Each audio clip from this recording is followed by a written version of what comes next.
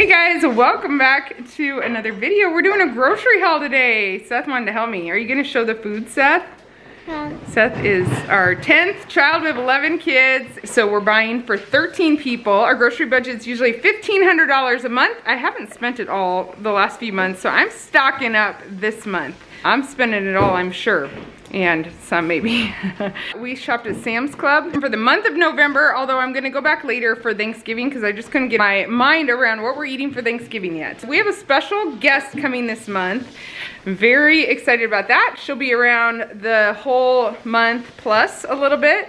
And so we got a couple extra things for that. And when I go back halfway through the month, I wanna take her in to the store to help shop for that as well. Okay, Seth, let's do this.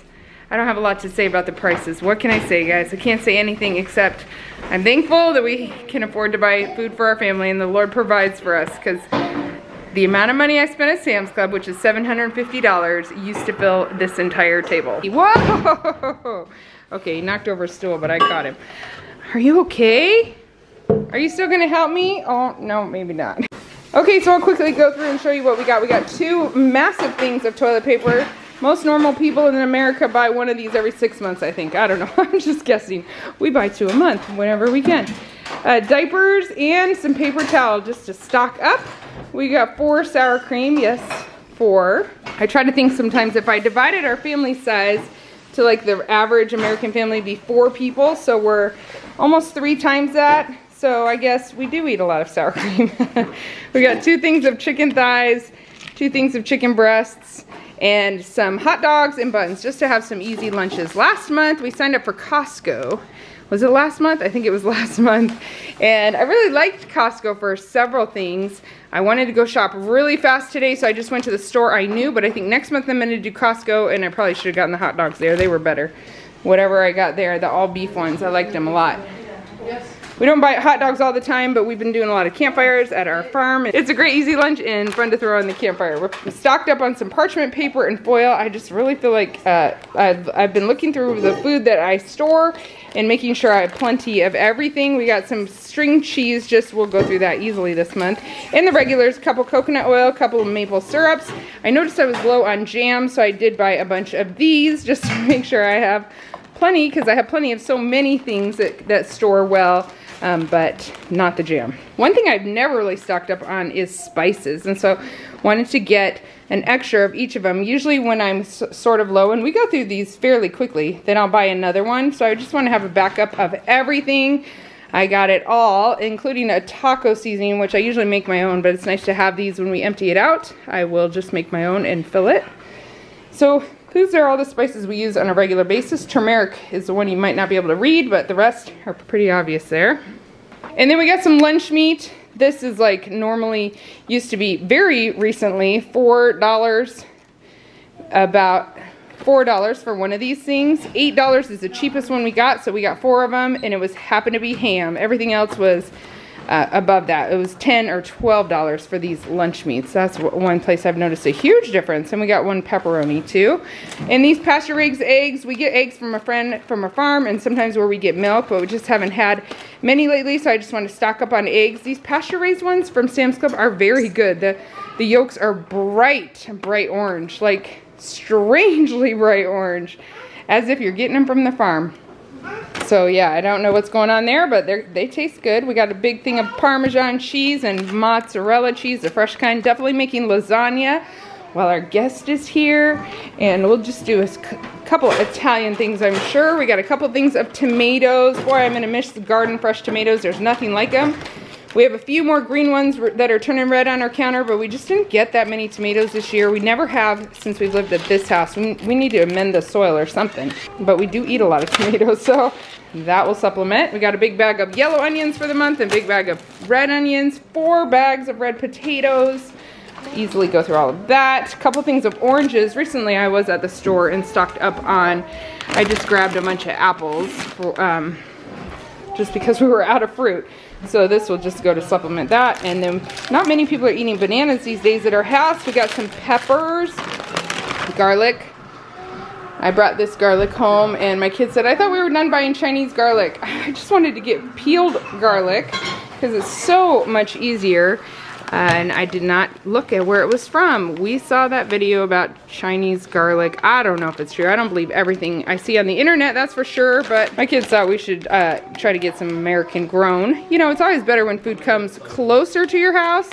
Yep, that's a product of China. But it always is good when food isn't crossing the entire globe to get to you, I think. So whether it's true or not, it's better to get it closer front to us, right? We can all agree on that. I picked up some cabbage. We do like to cook with cabbage here and there, and it's really nice when it's already chopped for you. This is $1.98, so yay, one thing that has a very, very good price. We got lemons and limes. And we got all these little tortillas. You know, we have a lot of kids. These make such great lunches. My kids love them. It's great for taco nights, last minute. We could do that once a week with all these tortillas. And we do He's showing them off. we do lunch meat and cheese on them with some lettuce. Oh, by the way, I couldn't find romaine lettuce at all. None. None whatsoever. Um, but we do peanut butter and jelly on these, meat and cheese, lettuce, and then obviously all the taco things. We got some huge burrito ones. That This is a double pack, so I think it's two of, yeah, 40 of them. So we're to do some sheet pan quesadillas. And then we got some special treats. Have you guys tried these candy covered popcorn? They're really good. These two bags we'll use for a movie night one night. I told you we're having a guest, so we want to have some special things. And I know that her favorite cookie is this is a shortbread cookie. I'm pretty sure. So we got this box. It's a good excuse for us all to get to eat some shortbread cookies. Yum! He's been hanging out by this area. then we got some peanut butter M&Ms, which is my favorite. And once it's open, all the children help me finish them in no time at all. So that's our junk food area for the month. Some fun things, we do a lot of baking. We eat some sugar things often, um, but we usually bake them, so it's not often we buy a lot of pre-made sugar stuff, but it is fun treat when we do. Okay guys, 7.50 for all of that with the toilet paper and diapers and all. And then let me show you what we're getting from Azure Standard. Okay, welcome back to another edition of Sarah Buys a lot of ridiculous amounts of stuff. Okay, today I got my Azure Standard order, so I'm showing you that to add to my grocery haul. So I'm really just stocking up this month. That's That was the plan. We've been eating meals of things we have um, from our storage, which is nice and convenient, like taco things and spaghetti things and beans and rice things and all the soups and all that. It's so easy to eat out of that. So um, I did want to stock up though in a lot of stuff. We were out of, almost out of spaghetti noodles, so I went to Walmart can ignore my homemade yogurt there. This is all linguine. That's what they had. Whole wheat, whole wheat spaghetti, whole wheat spaghetti noodles. So I think I got like 36 boxes. the most you can get on the pickup order is 12 of each. So I got 12 of all of the whole wheat spaghetti noodles, but they had to replace one with linguine because they didn't have enough. So I got all of that from Walmart pickup order this morning. And these two ricotta cheese because I am going to make lasagna. So that's one thing I had to buy ingredients for the meal. I stocked up on some ramen too. Um, I haven't been able to find it much. And my three older boys, they sure do love ramen for like snacking. When they're hungry, they go for oatmeal or granola and yogurt or ramen. And usually they throw the seasoning packets out or just use a very little bit and they make their own concoction with the noodles and it just works really well. I've tried to buy the noodles without the packets and it seems cheaper to just buy the packets. So that's what we have done. This will last us like, a, oh, and I got some at Sam's Club too. I'll tell you, I went in there. So this will all last us a year or more. We'll put some of it at the farm and some here. Anyway, so Walmart was that and that and that. And I'll tell you my total for that. for all the noodles. My total is $86. Now I have thought about, I have a lot of my other kind of noodles, just not the spaghetti noodles, which is our favorite right now. I've thought about getting a pasta maker. We do make pasta by hand sometimes. A viewer sent us some fun little tools that make it fun too, and you can make different pastas out of it. It's, it's good, and I have the good flours to make pasta, but one day I do want to buy like just a pasta machine. I'm just not ready to spend the money on it and take the time to learn it. So uh, for now we're just stocking up, but eventually the plan is that I want to just get a machine. So I just use my ground, freshly ground flour or durum wheat or whatever and make pasta. You just stick it in the machine and it spits out pasta. So for right now we're still stocking up. And uh, then, okay, I had to stop by Sam's Club again yesterday. I just needed a lot of pajamas for several of the kids they needed. And I always get the girls some leggings every year. So when I was there, that's when I got that ramen because I hadn't seen it for a while. And I also saw that they had cans of corn on sale for just over $6 each. So I got six boxes of the corn, canned corn, which is good. We needed to stock up on that, um, running a little lower on that. And then let me show you what I got at Azure. So that's where I spent the big bucks. I'll just run through it real quick. I did finally find hard white wheat. It's, they probably had it for a little bit, but I just bought one big 50 pound bag. I'll mix it with my red wheat for bread and stuff, but we've been loving the hard red wheat. I got a, I think this is a 25 pound bag of black beans. It's huge. And then they didn't have the 50 pound bag of cane sugar that I normally get and we're running low on that. So I got two 25 pound bags. That's what they did have. And we're also running low on brown sugar. That's what we bake with. Oh, um, one of my boys is taking out the trash. Sorry, ignore that. Uh, the brown sugar. I'm looking for some black strap molasses to just mix with this sugar to make our own brown sugar. I think it's a lot more economical that way.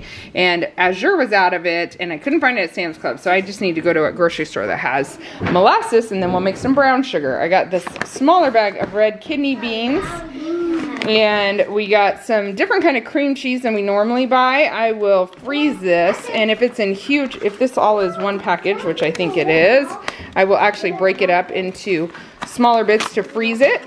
Cream cheese freezes pretty well, I find, and we use it a lot just to cook with lately, bake with, or, or, put in soups rather, or whatever, I don't know. Bake with and soups. So yeah, it's a big thing, so I'll divide it up and freeze it that way. We got two blocks to try that kind out. I got I got some helpers over here. We're all watching what, what we bought. They want to make cookies. Yeah. okay, Seth, hold on just a second. You can get back to your cleaning in a moment. I got some beeswax candles. I think Belle lit one of them already. I've, I've never done beeswax candles. Wanted to try it out. I actually would rather just make them myself. I think I'm going to, because I don't have bees yet and I don't have my own beeswax, I'm going to order some beeswax from Amazon and make some of my own. But we're going to try these. They're supposed to purify the air, be better than the scented candles that we use. We don't use many, but in the fall I do like to light a candle and around Christmas. So trying these out. Um, Belle has some asthma allergies. I wonder if this will help. Just, you know, purify the air. That's what it's supposed to do. We'll see. Okay, and here's uh, also where my money went. I was running low on my soaps, and last time I needed dish soap. I bought it from Azure. It's really good, clean ingredients. I loved it a lot. So I got four of those. I think they have one of, one of their options. The best price is to get like a four pack of these big bottles. So did that, which is a nice way to stock up. I needed laundry detergent as well, so just I did the same thing there. The reviews were so good for that. Also, I'm trying out their dishwasher powders. This is a massive thing. That's the only downside is I gotta find room in the cupboard underneath the sink for this. But uh, yeah, this should last us a long time, which is nice and also really, really good reviews. So look at all those massive cleaning products, but we're stocked up now. Okay, did I say Walmart was $86 and the Azure, all that stuff, was 589 I actually think that buying in bulk is what is keeping me in my budget right now when the prices are a lot more. Like these noodles normally were a dollar for a long, long, long time. Now they're a dollar 43. So that's the increase of prices that, I mean, that's that's real. A dollar 43 when you add it up. So if a lot of the groceries are have raised that much, it's very hard to stay in budget, but the stocking up has helped me for the most part and eating what we've stocked up. So eating the kind of foods that um, that we've stored. And we're doing a lot of that. We are eating a lot more beans than we used to, that kind of thing. And it also helps that we buy our milk and eggs locally as much as we can. Uh, we buy from a local farmer. And then we buy our beef and our pork locally, or uh, from farmers in bulk. We buy the whole pig and the whole cow at once. So those kind of things are helping us a lot too. So I'll put my grand total of everything I've spent this month so far. We will go back in the middle of the month for some Thanksgiving things and fresh fruits and vegetables. It might be over this month a little bit, but not too bad. I hope you guys have a wonderful November and we'll talk to you again in the next video. Thanks for watching. Sarah buys a whole lot of stuff edition November. Bye guys.